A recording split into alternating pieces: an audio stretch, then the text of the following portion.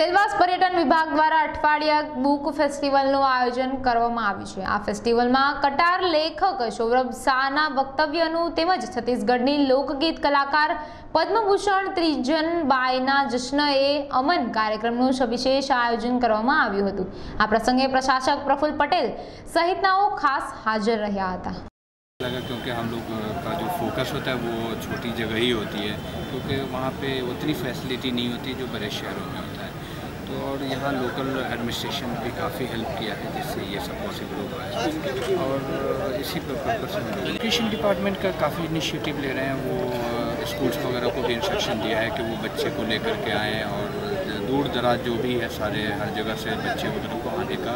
उन्होंने आश्वासन दिया है। तो वो बहुत बड़ी चीज़ है, क्योंकि ये बच्चे जब स्कूल से आएँगे, वो देखेंगे कि यहाँ पे क्या क्या एक्टिविटी हो रही है, कि किस तरह की किताबें पे डिस्प्ले हैं, वो अपनी पसंद की किताबें खरीद सकते हैं। ज़्यादातर चार लैंग्वेजेस की किताब हैं इंग्लिश हिंदी और मराठी और गुजराती। इसमें कम से कम थर्टी थाउज़ेंड से ज़्यादा टाइटल्स हैं और हर एज ग्रुप के लिए है बच्चों के लिए है बड़ों के लिए है हिस्ट्री है साइंस है, हर टॉपिक पे यहाँ से किताब ये कहेंगे कि ये एक बहुत अच्छा अपॉर्चुनिटी है। आपके शहरों में हम लोग यहाँ पे इतना बड़ा इवेंट कर रहे हैं तो आएँ किताब देखें अपनी पसंद की किताब खरीदें। ये क्योंकि ये एक बहुत बड़ी